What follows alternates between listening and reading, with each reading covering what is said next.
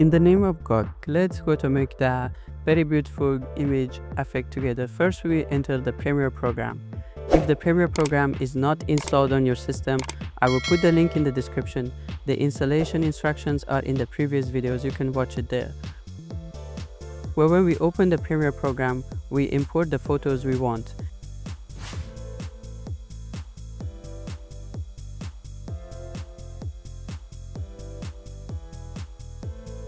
Where we imported the photos, as you can see, the length of each photo is about 4 seconds and we want the length of each photo to be only about 5 frames. There are two solutions for this. The first way is to select all the footages, right click on one of them, click speed duration, change this 4 to 0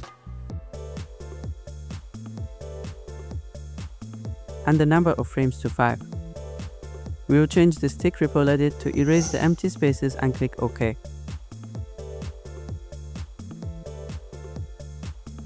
As you can see, raw footage job can be resized to 5 frames. Well, if you don't want to do this, there is another way. You can edit the preferences timeline and in this section you will select the timeline. We will set the still image default duration to 5 and make sure that this sliding bar is on frames. Well, 5 frames is okay. Now if I insert any photo footage into the timeline, it will be 5 frames long not doing what I say you should do. Well, first you delete all the footage. In the same way, you delete the footages in bin and import them once again. This way your problem will be solved and every footage with a length of 5 frames will enter the timeline. Well, this is from the first step when we imported the files and changed their size. Then in the second step, we write transform in the effect window, which is subset to distort further, redrag it on one of the footages.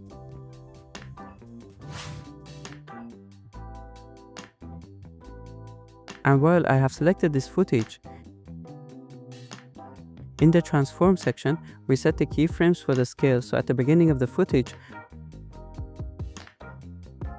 we set the same 100 to the same 100 and at the end of the footage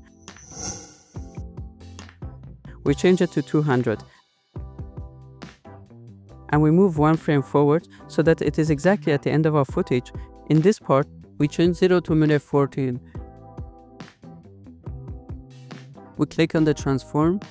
We press the combination buttons of Ctrl and C to copy the transform and the rest of the footage other than that. We select the photo to which we have applied the method effect then press the Ctrl and V buttons on the keyboard. Well, this effect has been applied to all of them and we are going to see the result. It is very beautiful.